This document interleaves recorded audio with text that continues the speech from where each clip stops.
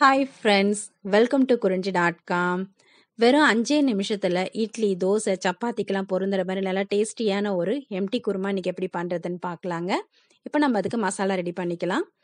கடாயில் ரெண்டு ஸ்பூன் அளவுக்கு தனியா ஒரு ஸ்பூன் சோம்பு அரை ஸ்பூன் சீரகம் ஒரு ஸ்பூன் மிளகு இது கூட ஒரு சின்ன துண்டு பட்டை ரெண்டு கிராம்பு ரெண்டு ஏலக்காய் ஒரு பிரிஞ்சி இலை. இதையும் சேர்த்துட்டு நமக்கு கிரேவி கொஞ்சம் திக்னஸாக வர்றதுக்காக நாலு முந்திரி சேர்த்துருக்கேன். இந்த முந்திரிக்கு பதிலாக நீங்கள் ஒரு ரெண்டு ஸ்பூன் அளவுக்கு வேறு உடச்ச கடலை கூட சேர்த்துக்கலாம். கால் மூடி தேங்காயை இந்த மாதிரி கட் பண்ணி சேர்த்துருக்கேன். இப்போ இது எல்லாத்தையுமே நம்ம நல்லா வறுத்து எடுத்துக்கலாம். இது கூடயே ஒரு ஆறு ஏழு பல்லு பூண்டு ஒரு சின்ன துண்டு இஞ்சியும் சேர்த்துக்கலாம். இந்த பிளெயின் குருமா பார்த்தீங்கன்னா நமக்கு எல்லாத்தோடையும் ரொம்ப நல்லா இருக்கும். சுட சுட இட்லி தோசை சப்பாத்தி பரோட்டா இதுக்கு எல்லாத்துக்குமே ரொம்ப சூப்பராக இருக்கும். இடியாப்பத்துக்கு கூட நீங்கள் இதை சர்வ் பண்ணலாம். இப்போ இது எல்லாத்தையுமே நல்லா வறுத்தாச்சு. இதை ஒரு பிளேட்டுக்கு மாற்றி ஆற விட்டுடலாம். இப்போ அதே கடாயில் ஒரு ஸ்பூன் அளவுக்கு மட்டும் எண்ணெய் விட்டுருக்கேன். இதில் ஒரு ரெண்டு பெரிய வெங்காயத்தை கொஞ்சம் பெருசு பெருசாகவே கட் பண்ணி போட்டுக்கலாம். ஏன்னா இதை நம்ம அரைச்சி தான் எடுக்க போகிறோம் இது கூட காரத்துக்கு நாலு பச்சை மிளகாய் சேர்த்துருக்கேன். இந்த பிளெயின் குருமா பார்த்தீங்கன்னா நல்லா காரமாக இருக்கும்போது எல்லாத்துக்குமே பொருந்தும் டேஸ்ட்டும் நல்லாயிருக்கும் ரெண்டு தக்காளி பழம் நல்ல பெரிய தக்காளி பழமாக ரெண்டு தக்காளி பழத்தையும் சேர்த்து இப்போ இதை நல்லா வதக்கிக்கலாம். இப்போ இது எல்லாமே வதங்குறதுக்கு தாங்க டைம் வேணும். நம்ம குருமா பார்த்தீங்கன்னா ஒரு சட்டுன்னு செஞ்சு முடிச்சிடலாம். இப்போ இதெல்லாம் நல்லா வதங்கியிருக்கு. இது நல்லா ஆறட்டும். இப்போ ஃபஸ்ட்டு மிக்சி ஜாரில் நம்ம ஏற்கனவே வறுத்து வச்சுருக்க அந்த மசாலாவை சேர்த்து தண்ணி சேர்க்காம அடிச்சுட்டு அதுக்கப்புறமா கொஞ்சமாக தண்ணி விட்டு இதை நல்லா பேஸ்ட் பதத்துக்கு அரைச்சிடலாம். இப்போ பாருங்கள் இது தண்ணி சேர்க்காம நல்லா அடித்து எடுத்திருக்கேன்.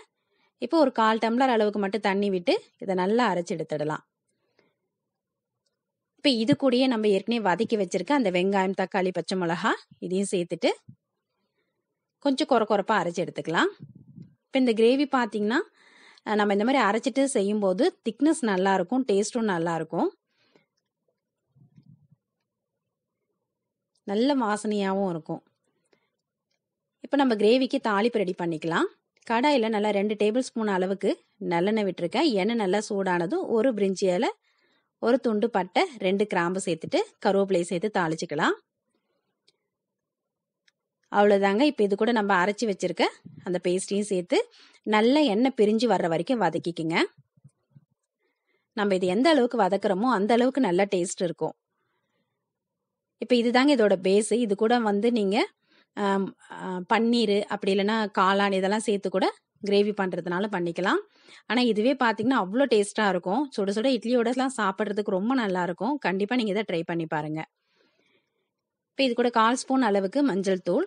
அரை ஸ்பூன் மிளகாய்த்தூள் சேர்த்துருக்கேன். உங்கள் காரத்துக்கு ஏற்ற மாதிரி நீங்கள் மிளகாய்த்தூள் சேர்த்துக்கலாம். ஒரு ஸ்பூன் அளவுக்கு உப்பு சேர்த்துட்டு இப்போ இந்த மசாலா நல்லா இந்த மாதிரி எண்ணெய் பிரிஞ்சு வர வரைக்கும் வதக்கிக்குங்க.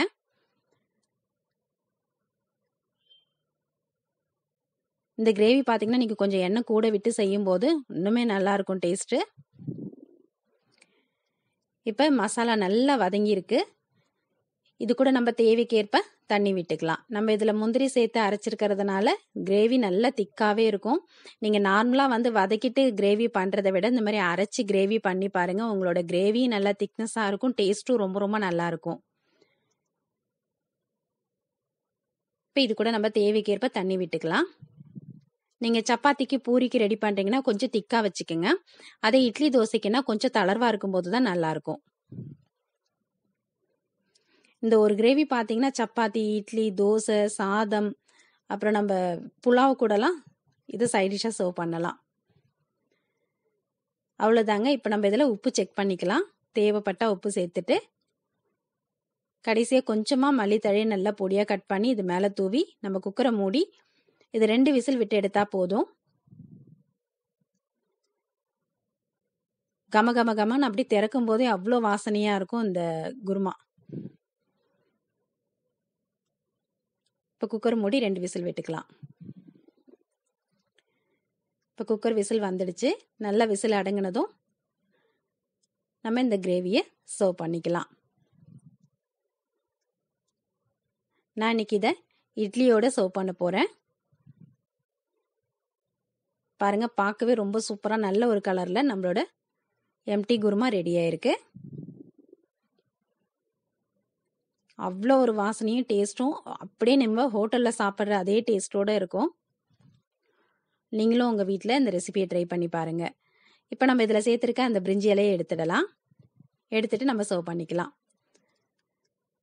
ரொம்ப சிம்பிளாக வெறும் ஒரு அஞ்சே நிமிஷத்தில் செய்யக்கூடிய இந்த எம்டி குருமாவை நீங்களும் உங்கள் வீட்டில் செய்து பாருங்கள் இந்த வீடியோ உங்களுக்கு பிடித்திருந்தால் லைக் பண்ணுங்கள் ஷேர் பண்ணுங்கள் சப்ஸ்கிரைப் பண்ணுங்கள் உங்கள் ஃப்ரெண்ட்ஸ் ரிலேட்டிவ்ஸோட இந்த வீடியோவை ஷேர் பண்ணிக்கோங்க.